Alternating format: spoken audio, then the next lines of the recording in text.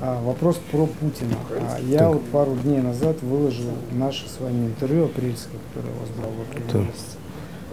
Там как раз вот этот кусочек, где вы мне рассказывали про работу в администрации президента Так. Путина. Да? Так.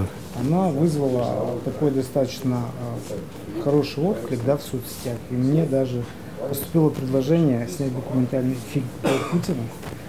Владимир Путин суперличность. Ну, я давно уже Мгм. этим занимаюсь, да, э, этой темой.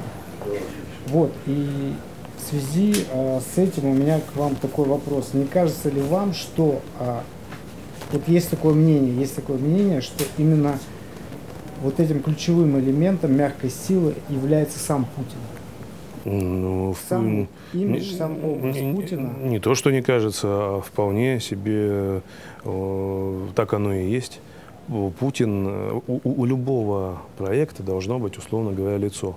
Вот если сейчас Россия э, в мире э, как бы, да, определенный авторитет получает в качестве вот той самой как бы, державы, которая свою мягкую силу применяет, то она персонифицирована именно в образе Путина.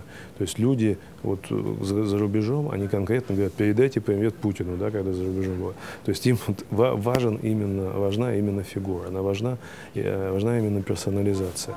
Какие бы личные качества у Путина не были, не- неважно даже, э, с ними можно отдельно разбираться и фильм даже снять, да, но м, значит, он уже заложник вот этого определенного образа э, ответственного политика. Вот. И он востребован э, как, как тот самый э, политик, который э, выступает за традиционные ценности в мире, который является просто нормальным обычным мужиком, нормальным обычным человеком. И это людям нравится.